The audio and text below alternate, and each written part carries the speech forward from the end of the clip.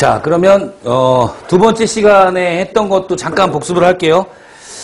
두 번째 시간에는 구조식부터 시작을 했어요. 그죠? 맞아요? 알파 몇 도였어요? 그렇죠. 베타는요? 120도. 감마는요? 104.5도.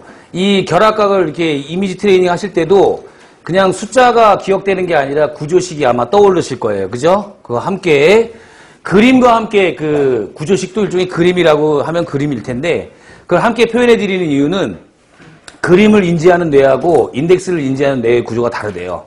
그건 제 얘기가 아니라 제가 이제 그 대학원 교육학 강의를 들을 때 그 교수님께서 그 훌륭하신 교수님께서 하신 말씀입니다. 그래서 이 그림하고 인덱스와 같이 외우는 방법도 활용을 하시기 바래요. 그래서 좀 칠판에다가 그림을 좀 최대한 잘 못 그리지만 그려드리는 이유도 이제 같이 좀 두뇌 활동을 좀 하라는 의미에서 하, 는 거고 여러분들도 그걸 그냥 적극적으로 활용하시고 나중에 응용해서 하실 때도 이용하시면 좋을 것 같다는 말씀을 좀 드립니다. 그리고 이제 화학식 양이 들어갔어요. 그렇죠? 화학식 양 중에서 네 가지가 있었는데 가장 제가 비중을 두고 역시 말씀을 드렸던 화학식 양이 뭐였죠? 원자량이었어요. 원자량의 기준은 누구였어요? 탄소였어요. 그죠? 탄소의 원자량을 얼마로 놓고? 12로 놓고, 그죠?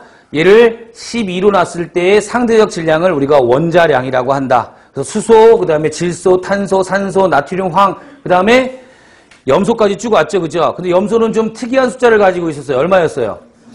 35.5라고 하는 평균 원자량의 개념이 들어갔는데 평균 원자량의 의미가 들어간 이유는 바로 동위원소의 존재 비율 때문이었다. 다른 원소들도 물론 동위원소는 존재하지만 염소는 특히 존재, 어, 존재비가 무시할 수 없을 정도로 꽤 크다라는 걸 어, 염두에 두고 우리가 음, 뭐야 내용을 정리해 왔습니다. 그렇죠?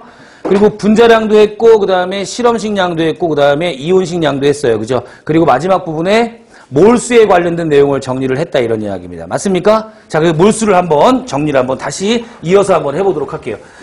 앞으로 이 몰수는 굉장히 중요한 의미를 가져요, 여러분. 그리고 몰수를 직접 묻는 문제는 예전에는 꽤 유행했지만 요즘은 최근에는 이 몰수를 직접 묻는 문제는 잘 안 나옵니다. 하지만 이 몰수는 어디까지 끝까지 가가지고 우리를 괴롭히냐면 저 뒤에 나오는 산화환원, 산과 염기 이 문에 가서도 양적 관계에 대한 이야기를 할 때 몰수는 계속 쫓아다니는 개념이기 때문에 초반에 굉장히 좀 선명하게 해둘 필요가 있다 이런 얘기죠. 그죠? 자, 몰수를 통해서 우리는 모두 환산할 수 있냐면 뭐죠? 질량을 환산할 수 있어요. 질량. 그죠? 그리고 몰수를 통해서 또 모두 환산할 수 있냐면 어때요? 부피도 환산할 수 있어요. 그죠? 그리고 몰수를 통해서 모두 환산할 수 있냐면 입자수를 또 환산할 수 있어요. 맞습니까? 그죠? 자, 이런 것들인데 자, 먼저 몰수를 가지고 질량을 환산하기 위해서는 우리 그 환산 인자, 즉 물리량이 뭐가 필요해요, 여러분? 몰수 곱하기 모래야 질량이 나오는 거죠? 화학식량을 하면 될 거예요. 화학식량. 맞습니까? 화학식량을 곱하면 화학식량 안에는 원자량, 분자량, 실험식량이 있다 그랬죠. 그죠?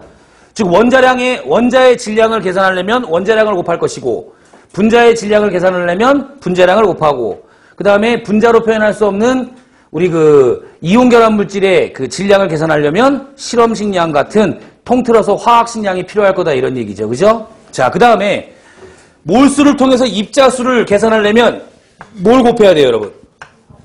그렇죠. 아보가도 어, 왜 이러죠? 비가 와서 그런가? 아보가드로 수가 필요했어요. 맞습니까? 네, 아보가드로 수. NA, 아보가드로 넘버 이렇게 얘기를 합니다. 아보가드로 수가 필요하다. 탄소가 12일 경우에는 6 곱하기 10의 23승계가 되는 거죠. 그죠? 그래서 여기다 써놓을게요. 6 곱하기 10의 23승계. 자, 그 다음에 몰수를 통해서 기체의 부피를 계산하려면 전제 조건이 일단 온도와 압력 조건이 fix가 돼야 돼요. 그죠? STP 조건에서 뭘 곱해야 돼요, 여러분? 22.4리터를 곱해야 어때요? 그 주어진 몰수의 부피가 나올 거다라는 내용. 이게 가장 기본이 되는 환산 공식이고요, 여러분. 저건 노트에다가 저 공식 백날 써놓고 그냥 쳐다보고 있다고 답이 나오지 않아요. 뭐 해야 되냐면 맹연습을 하셔야 돼. 알겠죠? 그 맹연습을 하기 위해서 제가 오늘 프린트를 다 하나씩 드렸어요. 연습하시고 그 다음에 우리 그 인터넷 강의 듣는 학생들도 이 내용들은 다 탑재가 돼 있어요. 페이지 홈페이지에. 그래서 그걸 출력하셔 가지고 연습에 연습을 반복하시기 바랍니다.